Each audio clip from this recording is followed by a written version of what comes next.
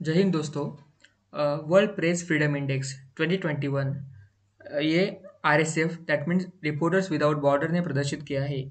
हाल ही में जारी 180 देशों में के विश्व प्रेस स्वतंत्रता सूचकांक that means world press freedom index 2020 में भारत फिर से 142वें स्थान पर है।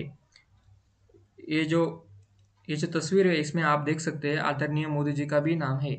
शामिल है हम इस सूची में 142वें नाम पर है। इसमें सी जिनपिंग और रश- रशिया के राष्ट्राध्यक्ष पुतिन जी का भी नाम है।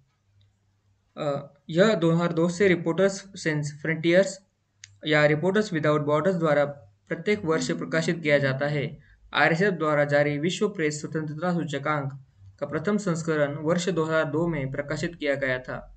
पेरिस स्थित रिपोर्टर्स विदाउट बॉर्डर एक अंतर्राष्ट्रीय गैर सरकारी, गैर लाभकारी संगठन है। जो सार्वजनिक हित में संयुक्त राष्ट्र यूनेस्को, यूरोपीय परिषद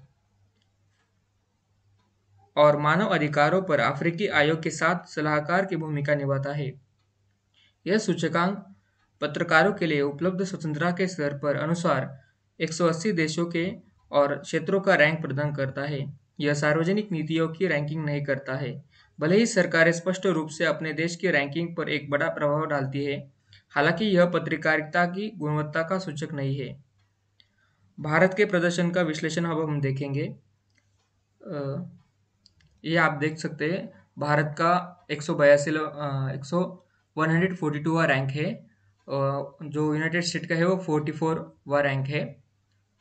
सो ये जो ला, ये जो रैंक है वो लास्ट के कुछ राष्ट्रों के नाम है यहाँ पे। सो वर्ष ट्वेंटी ट्वेंटी में भारत एक स्थान पर था। इस प्रकार पत्रकारों को प्रदान किए जाने वाला वातावरण में कोई सुधार नहीं दिखाई दे रहा है। सो भारत को अपने पड़ोसी देश की तुलना में खराब प्रदर्शन रहा है।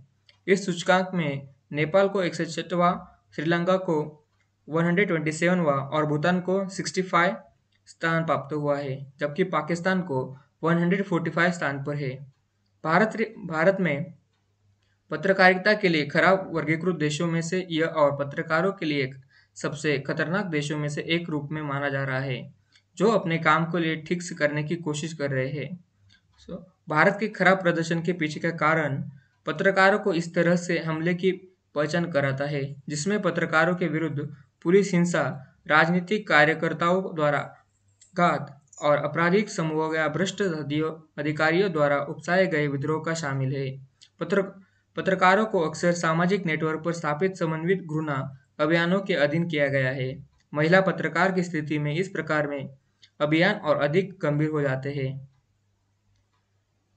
इसमें कुछ जो देश है उनके, जो प्रेसिडेंट है उनका नाम लिया है प्रेसिडेंट और जो पीएम है। ये आप देख सकते हैं। सो थैंक यू दोस्तों।